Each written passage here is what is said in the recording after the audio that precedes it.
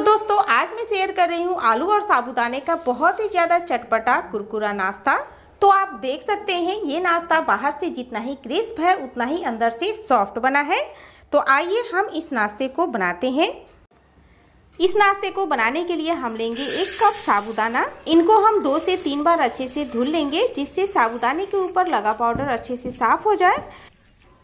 तो देखिए, दो बार मैंने धुल लिया है। धुलने के बाद हम इसके अंदर पानी डालेंगे। पानी उतना ही डालेंगे जिससे साबुदाना अच्छे से डूब जाए। अब हम इन्हें दो से तीन घंटे के लिए रख देंगे। दो घंटे हो गए हैं और साबुदाना अच्छे से फूल गए हैं और ये सॉफ्ट भी हो गए हैं। इन्हें हम रखते हैं एक तरफ़। गैस पर हम पैन रखेंगे। पैन में हम डालेंगे दो से तीन चम्मच मूंगफली के दाने। मीडियम फ्लेम पर हम इन्हें दो से तीन मिनट तक भून लेंगे। दो से तीन मिनट हो गए हैं, अब हम इन्हें एक प्लेट में निकाल लेंगे और इनके जो छिलके हैं, उन्हें हम हाथ से ऐसे रगड़ कर निकाल लेंगे। अब हम इन्हें एक जार में डालेंगे और इन्हें पीस लेंगे। इनका पाउडर नहीं बनाना है हमें, इन्हें दरदराई रखना है इस तरह से। इन्हें हम रखते हैं एक तरफ़ यहाँ पर मैंने एक मिक्सिंग बाउल लिया है। इसके अंदर हम डालेंगे उबले आलू। तो दो उबले आलू लिए हैं। इनको मैंने कद्दूकस कर लिया है। आप चाहे तो मैश करके भी ले सकते हैं और इसके अंदर हम डालेंगे ये साबुदाना। जो हमने भिगो कर रखा था। अब हम इसमें डालेंगे बारीक कटा हुआ टमाटर। तो यहाँ मैंने एक बड़े साइज़ का टमाटर लिया था। बीज निकाल कर लिया है। और तीन हरी मिर्च बारीक कटा हुआ एक इंच बारीक कटा हुआ अदरक दो चम्मच सफ़ेद तिल लिया है। इसे डाल देंगे। आधा चम्मच से थोड़ा सा ज़्यादा मैं इसके अंदर सेंधा नमक डाल रही हूँ और ये क्रश किया हुआ मूंगफली। साथ ही इसके अंदर जाएगा ढेर सारा बारीक कटा हुआ हरा धनिया। अब हम इन सभी चीज़ों को अच्छे से मिक्स करेंगे। अच्छी तरह से मसलते हुए मिलाएँगे, जिससे सभी चीज़ें अच्छे से मिक्स हो जाए और ये बाइंड होने लगे।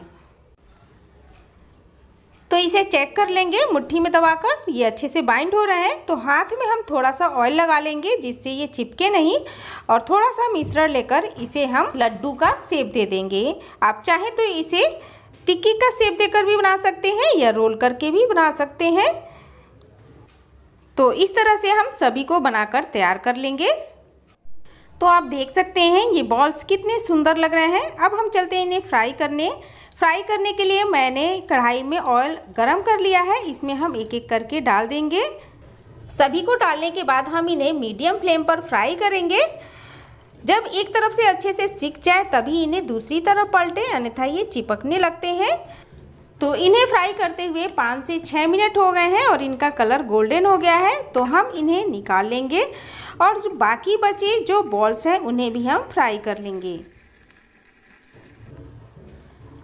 तो थोड़ी सी मैं हरी मिर्च भी इनके साथ फ्राई कर ले रही हूँ। बड़ों के साथ ये बहुत टेस्टी लगते हैं।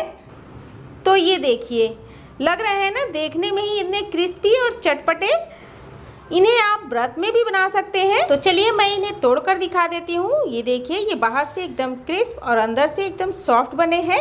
तो आज की रेसिपी कैसी लगी कमेंट में ज़रूर बताइएगा और अभी तक चैनल को सब्सक्राइब नहीं किया है तो प्लीज़ सब्सक्राइब कर लीजिएगा, जिससे आने वाले वीडियो का नोटिफिकेशन आपको सबसे पहले मिले। तो फिर मिलते हैं एक नई रेसिपी के साथ। धन्यवाद।